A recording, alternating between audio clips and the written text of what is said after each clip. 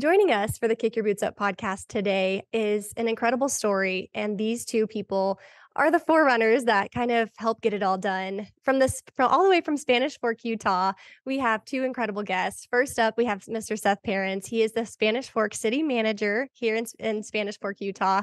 And we'll get to hear his story on um, a little bit of balance, being a committee man for several years on their local rodeo and also being the city manager. Sitting next to him is none other than Nick Porter. He's the public info officer for the city of Spanish Fork. And these two men have an incredible story to tell. You are about to hear it right here on the Kick Your Boots Up podcast. And guys, I am so thankful that you're taking the time to be here. I know it's rodeo week. So you guys are getting started. You've already have the setup. You know, tell us a little bit about how you guys both got involved in the Spanish Fork Fiesta Days rodeo. That's an excellent question. And and honestly, it's one of the highlights, I think, for both of us individually. I'll let Nick speak a little bit about his experience, but I've been involved with the rodeo since uh, around 2005. And uh, I won't get into the whole story of that because, uh, frankly, it's a little embarrassing. But uh, I love being a part of the rodeo, and, and I've been the city manager uh, since 2016 and uh, being a part of the rodeo committee is one of the hats I get to wear as the city manager, and that that's a unique opportunity and, and a unique uh, makeup of our rodeo committee that is connected between what was the founding uh, rodeo committee, that that founding uh, riding club, the Diamond Fork Riding Club, that started this rodeo uh, over 80 years ago, and then the city. And so on our committee, not only is uh, am I a part of it as a city manager, but also we have our uh, mayor that sits on the committee, and uh, uh, our fairgrounds manager, and, and then our parks and rec director as well. So there's a lot of involvement and a lot of investment that the city's put into the success of this rodeo. And then we have the expertise of the riding club, the Diamond Fork Riding Club, and, and that is a great marriage between the two of us that has helped uh, over the last certainly the last 20 years, but the 80 year history of this rodeo to make it really a success and uh, frankly the best rodeo in the state of Utah. I, I couldn't agree more. And, and I'm sure, Nick, I'm sure your story is just as unique. Tell us about it. Yeah, so I came to Spanish Fork just I just hit my three year anniversary last month, and it's been a wild ride and it's been a lot of fun. So just they told me that I was in charge of teaching 45,000 students all about Spanish Fork and what we do and who we are. And some of the fun things we get to do are the Fiesta Days rodeo. So I remember my first rodeo as an employee, I talked to our rodeo chairman and said, I think I want to go behind the scenes and show the people on our social media a little bit about what the rodeo is, things they might not, they won't get to see if they just come and sit in the stands.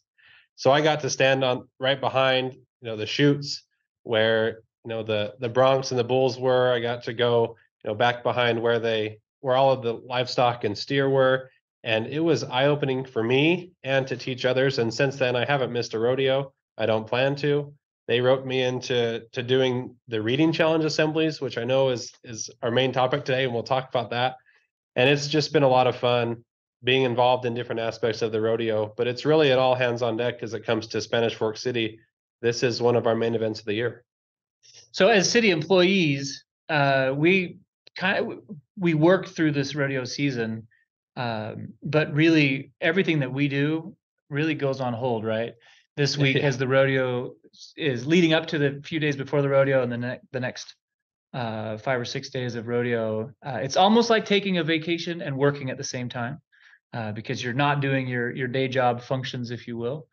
Uh, you everything that needs to happen to get ready during the day for that perf- performance at night, and then you sleep all night long hard because you gotta got to wake up early and do it all over again. So it's really kind of a vacation from the day job, even though at night you're you're still working. Uh, so we really enjoy that part of of this Fiesta Days Rodeo Week as well. There's no other time where you work as hard or play as hard. That's true. Ooh, well said. And you know, most rodeos have a lot of community involvement, but I've got to really commend you guys because there you are serving your city every single day and then turning right around and volunteering your time at the rodeo. That speaks volumes of your character. And you know, another thing that uh, we have to cover on this podcast is the Spanish Fork Reading Challenge. You guys have set a goal for these kids to read, and um, it, it also teaches them how to overcome challenges and how to stick with things and how to just commit to something for an entire month. So I don't know who wants to start first, but tell us about the Spanish Fork Reading Challenge and how it all began. Yeah, so the the reading challenge started in 2014, and we we're hosting the Champions Challenge, which was a, an event that the PRCA held for a, a handful of years and that's where this started and and it was a one day one event focus and, and we thought it'd be great to pit all of the schools against each other in a friendly competition of reading. And uh, we reached out to justin boots to see if they could help if you could help in in maybe giving us some prizes for it and and that was really the the brainchild of what we're doing today and, and it's certainly still connected to what it was but it's gotten bigger and even better uh, as we've shifted from the Champions Challenge event that it was to just part of the Fiesta Days Rodeo itself. And and what we do is we go to every elementary school in Spanish Fork, um, and and we talk to them. We invite them to read, and we encourage them to read as many minutes as possible. And we have uh, we do assemblies in each of these schools, and we have 10, Nine, nine, nine this year. nine schools so that's a long that's a long couple of days. We visit each of these schools and do these assemblies. But wouldn't you say, Nick, that when we go into those schools and the kids know that it's Cowboy Day, it's a it's the rodeo assembly day, they light up. It is their favorite assembly of the entire year. I agree. I, the most principals will send out a notification reminding them to wear their their get up to school, and so they all come in with their you know hats and boots and and bandanas that we gave out a couple years ago, and it's really fun to see the energy that the kids bring into the assemblies. Yeah, so we we go in and we we do these assemblies and we give them a we give them a challenge every year to read a lot longer, uh, maybe even just a little bit more, right? If you read for 30 minutes a day, read for 35 or whatever to, to make it so you qualify potentially to be the winner. And we've seen every year growth in the minutes read per student uh, across all these schools. And and that's I think for us maybe one of the greatest joys that we're helping to get kids excited about reading while we're promoting the Western way of life through these assemblies and and uh, promoting our own rodeo as well. And Nick, I believe you have some stats that you can share with us. Tell us a little bit about how long these students have been reading, what they do, and what it equals, what it's equivalent to. Absolutely. So Seth said we've been increasing each year, and last year minutes per student per day was was a 14 minute average. This year, students got up to 15 over 15 minutes uh, per student per day. So if you add that all up, it's really equivalent to four years. And we like to blow their mind, and we say, you know, you read for for almost 35,000 hours, and and I'll ask them, how many of you are 35,000 hours old? And they're all stumped until we say, well, that's about that's just over four years how many of you are four or five and, and we'll get the kindergartners to raise their hand and it's a lot of fun. Uh, so this year the students did uh, 2,076,500 minutes. Our winning school was also our smallest school that averaged 25 and a half minutes per student per day. And so congratulations to park elementary. That's that's a great number to see. And but there was some stiff competition. I think the second place school uh, was about 24.7 minutes per student per day. So they're pushing each other, and it's been really fun to see the the minutes and hours go up each year per student. And what a fun and unique way to get the the community involved. You're you're not only encouraging kids to go to the rodeo by dangling a beautiful carrot of some rodeo tickets at their head, but you're encouraging parents to sit down with their kids. You're kind of building something that is way more important than any physical need, which is the connection with their parents. And so I commend you guys there too. Thank you for doing that. I, I think of my niece throughout this whole time. She's right at that age and she loves to read, but she would love to have a little, a little challenge like that. You know, if I could get the chance to be the best or read faster or better, um, there's just so many benefits there. So I just gotta, I'm asked, I'm genuinely curious about you both. Um, what does it mean to you to be a part of something that's way bigger than yourself and way bigger than the community as well? I, you know, when you do these assemblies that we put on, and and different members of our committee, of course, there's there's a number of great great men uh, that uh, are part of our committee and and great participants in what we do. If you are if you're having a bad day, go do one of these assemblies. Uh, as you walk into that school and the kids see you there, you are a rock star. And if it's if you're having a long week and and you're tired or whatever, you go into this school and, and you're just picked up and they just love you and uh, praise you if you will and and uh, it's just it becomes really easy. And then all, all you need to do is talk about what a rodeo is and the different events that we have and we usually have a little bit of fun. I always feel bad for the school because the principals and then teachers are always trying to have their kids be behaved, right, quiet, sit still, that kind of a, an environment in an assembly. And we come in there and just blow the roof off and got them yelling and screaming, and and we'll play different games. We'll we'll do a, a quick tie, or a quick lassoing activity, or we might do a barrel racing activity, and uh, depending on the year. And uh, when you're done, you are not having a bad day if you had one going in. And, and so, really, for us, it might have been given as an assignment, but uh, having done it once and done it multiple times now, it's one that I quickly raise my hand for and say, "Can I do it?" Because it's it's very gratifying. Yeah, through various circumstances, I was kind of the bench player that got put in the starting lineup this year, and I don't know if I kept that spot, but I sure hope so because it was a blast. And I think for me, I actually have a seven year old, and this was his second assembly. So kindergarten last year and first grade this year. And and he loves it. And his friends love the rodeo and he loves to to mutton bust and he you know he keeps growing out of the boots and I keep buying him new ones. And uh, but it's a lot of fun just to see new rodeo fans that want to come to the rodeo every year, that want to bring their families we tell them all the all of what the events are at the rodeo so that they can teach their parents and friends and families when they come. And i think they really enjoy knowing what's happening on the ro- at the rodeo when they're with other people and the timing of it all this gives them plenty of time to learn those skills and get ready for the rodeo even better but one thing that i, I want to talk about a little bit is um, mutton busting you mentioned your son loves mutton busting we at Justin are huge fans of mutton bustin. That's why we put them on all across the U.S. And um, I just I'm so curious to hear your your perspective on the importance of mutton bustin there and what you think it does to shape the future of rodeo. I think it's a chance for these kids to get involved and see how much fun it is performing in front of you know thousands of people. And we've had 72 consecutive. Don't trust Seth that they should go backwards and put their legs around the neck, the, the sheep's neck. Uh, the first year my son didn't want to do that he wanted to go forwards and he saw a big a big uh, score increase when he flipped around the next year uh, so just giving them a chance to to perform and and be a part of this great sport and event i think is something that's really beneficial i think it really it really is and um sorry to, to cut you off there seth but um going back to kind of the the prizes and the awards um, you guys offer a plethora of things. I know the school, the winning school gets a trophy. Talk us through all the different prizes because it's a lot. The cowboys and cowgirls out there get to be dressed from head to toe. Yeah, this is one of the I think special parts of the story, and, and quite frankly, one one of the reasons why we were excited to to join you on the podcast today to to really express our gratitude as a rodeo committee and as a community for the involvement of Justin. Uh, I mentioned back in 2014 we started this uh, program, and and it was through the the generosity of Justin and and the work of Tom Feller, who said stepped up and said we would love to participate and let's give you let us give you uh, the boots that you you want. And so we developed the program two winners per school and since then i think we've added one or two schools so that number keeps growing as our community grows but uh, we, we started by giving a pair of boots to two students in each school.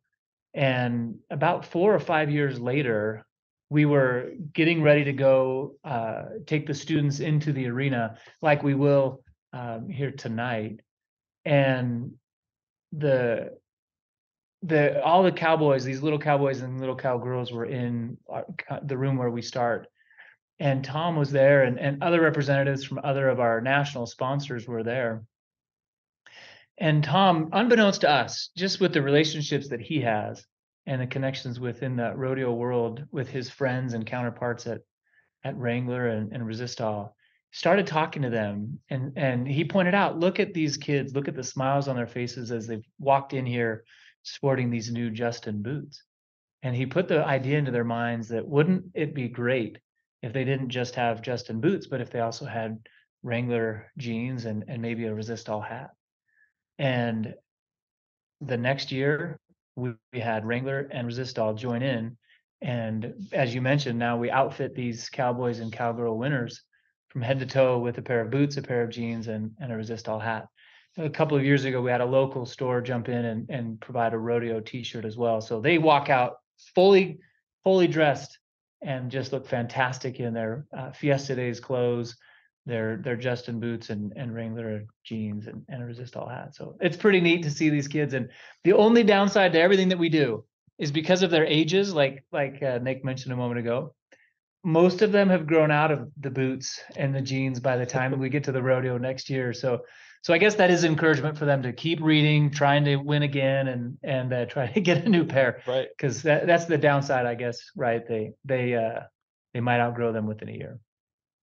And who knows, they might even outgrow them from the time they won in April to the time the rodeo happens too. Yeah, that's true. That is true. Um, that's And I really think another, the other fun thing, the other prize is, is tickets to the rodeo. So they all come one night of the rodeo. It's the only night we don't do mutton busting pre-show because we, we march these students out and, and give them the recognition they deserve. But as you think about the themes of our, of our rodeo, Patriot Night, Tough Enough to Our Pink Night, and then our rodeo reading challenge winners. That's hopefully shows how important reading is and and this partnership that we have that that it's a big deal to read in Spanish Fork. We want to create yes, new new rodeo fans, yes, cowgirls and cowboys and a nod to our heritage, but we also want to have uh, avid readers in our community. And without a doubt, you guys are doing an incredible job to shape the future. I couldn't be more thankful to be a part of hearing your story, even. That makes me want to get involved and help any way I can. So keep doing what you're doing. That's so encouraging. I hope to make it out to Spanish Fork one day. Um, unfortunately, that's one of the rodeos I have never hit on the rodeo trail, but I see it in the future happening. I know you guys have a lot of big things coming up this week. And speaking about that, let's kind of move on into the history of the Spanish Fork Fiesta Days rodeo. uh, It's more than just a rodeo. There's the Fiesta Days. You have a lot going on. So kind of give us the rundown rundown on that. Yeah, this is our our city's celebration. Most communities in the United States have what you might call a, a celebration week in the summer, right? Sometimes it's around a birthday celebration of a, of the community, but this is our our city. The name Spanish Fork, and uh, Fiesta Days, of course, plays hand in glove, and uh, it's it's a party around town. And and through the years, our Fiesta day celebration has evolved into a homecoming, and our community has a rich heritage of its residents and they come from wherever they live back home and so we see tens of thousands of, of family members come home and, and our parade is watched by by 50,000 uh, 75,000 plus and and uh, there's lots of family reunions and different family gatherings associated with it. So it's a great homecoming in the month of July. And and ours is uh, surrounding our state holiday that lands on the 24th of July.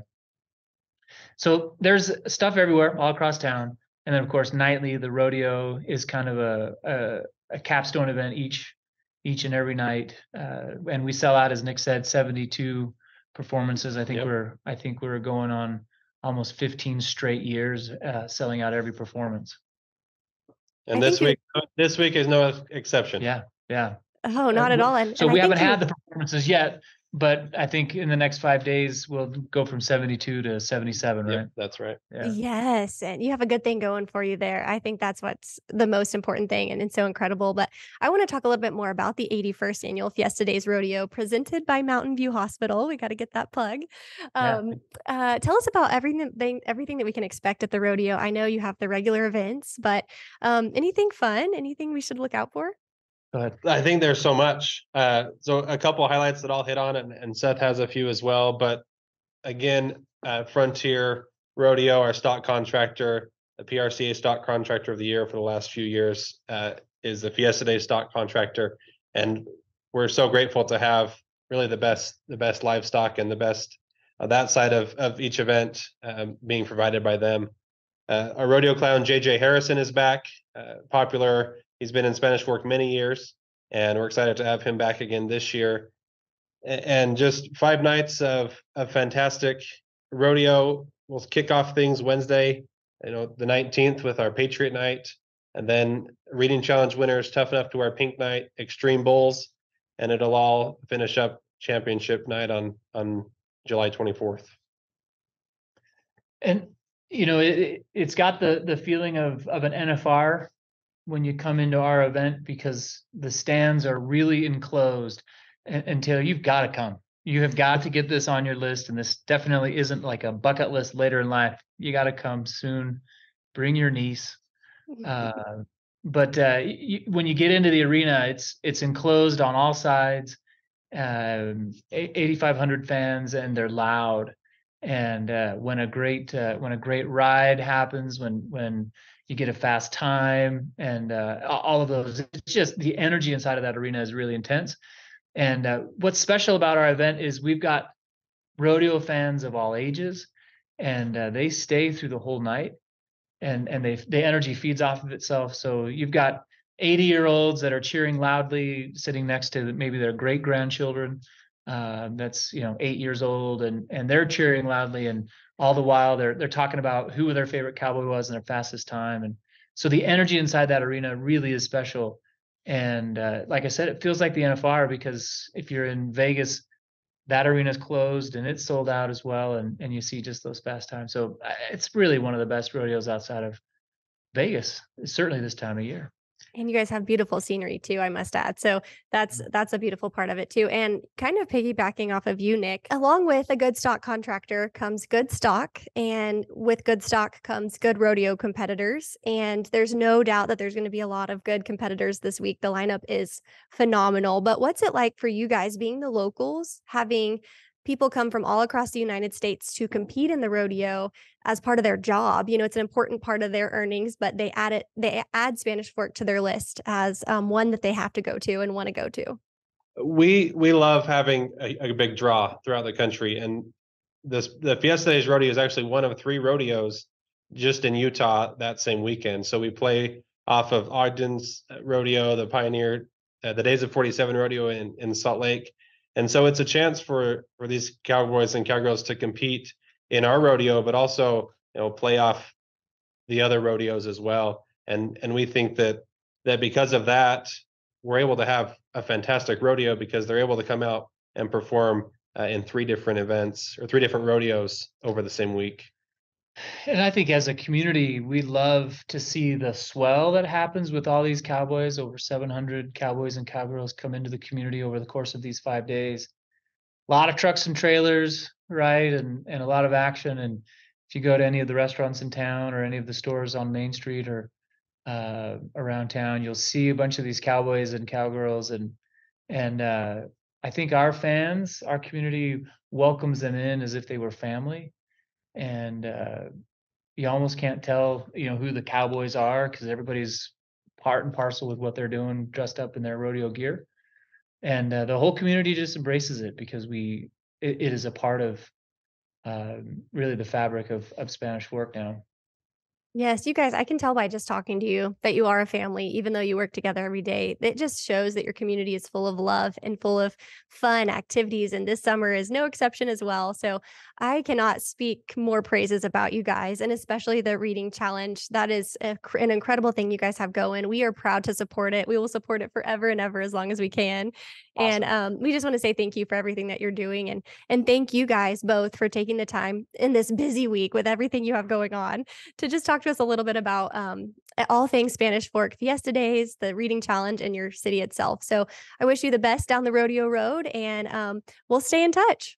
We know it is a busy week and uh, but there really is nothing more important i think for us at this moment to take this time and say thank you to you. Your support of spanish fork the fiesta days reading challenge and and our rodeo uh, we really are grateful for justin boots the role that you have played in in the success of our rodeo and in the success of this reading program. And so at this moment nothing more important than saying thank you to you. Well, thank you guys.